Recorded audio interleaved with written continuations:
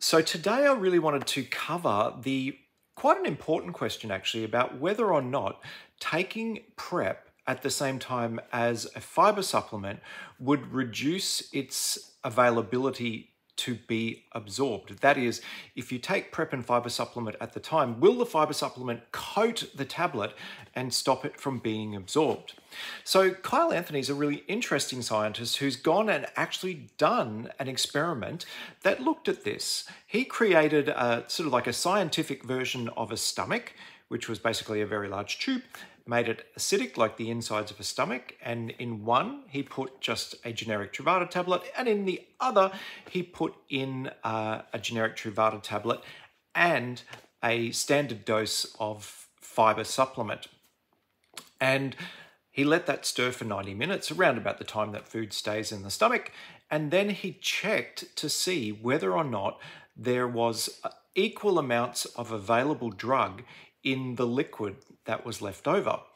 And it's interesting, basically the outcomes of the experiment were that having PrEP with a fiber supplement did not impact on its ability to be dissolved and therefore absorbed.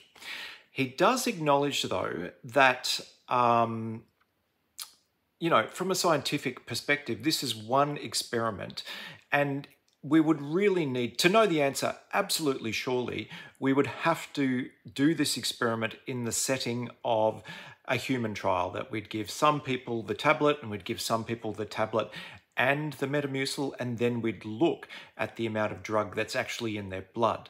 So that's a more scientific experiment. He does say however the conclusion is ultimately it is probably unlikely that taking PrEP with a fiber supplement supplement will lead to it not being absorbed.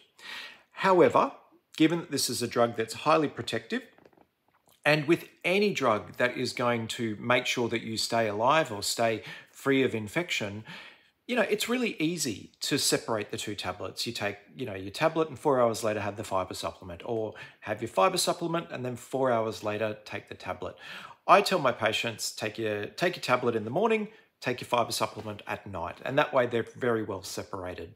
Um, but it's a really interesting. So if you have been taking your fiber supplement and your PrEP at the same time, the conclusions of this experiment would say that you don't need to worry. You it's unlikely that you have affected the ability of the drug to protect you against HIV. And that, that's really interesting. And I look forward to more research in this pathway.